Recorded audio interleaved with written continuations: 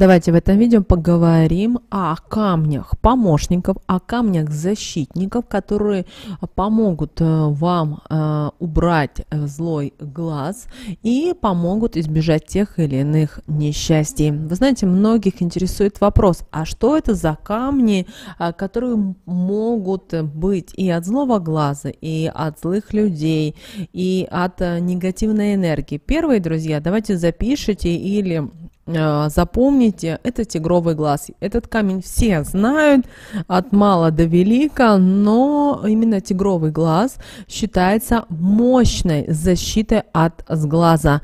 И как вариант вы можете, например, себе выбрать кулон с тигровым глазом, но желательно тигровый глаз носить каждый день.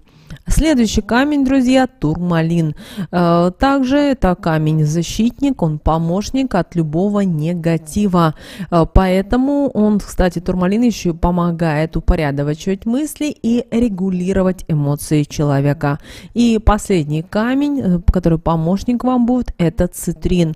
Он препятствует возникновению негативных событий. Также это один из тех минералов, камней, а, с которые имеют достаточно мощную энергию для защиты от проклятий и любого негатива. Поэтому используйте эти три камня. Это тигровый глаз, это турмалин и э, цитрин. Ну а прямо сейчас в комментариях напишите слово «защита». Пусть высшие силы и Вселенная оберегает и охраняет вас. Не забудьте поставить лайк этому видео.